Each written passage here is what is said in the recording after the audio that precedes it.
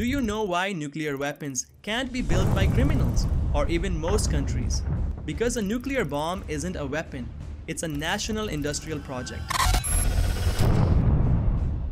At its core, a nuclear weapon works by splitting atom to release energy millions of times stronger than chemical explosives. But here's what people don't realize. You don't build a nuclear bomb. You prepare an entire country to support it. It requires specialized nuclear facilities, massive energy infrastructure, precision engineering beyond civilian use, and years of scientific control.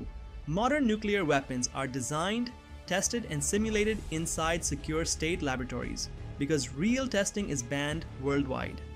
That's why treaties, inspections, and satellite monitoring exist to make sure no one crosses the line unnoticed. So when you hear a country is going nuclear, it's not a bomb being built in secret.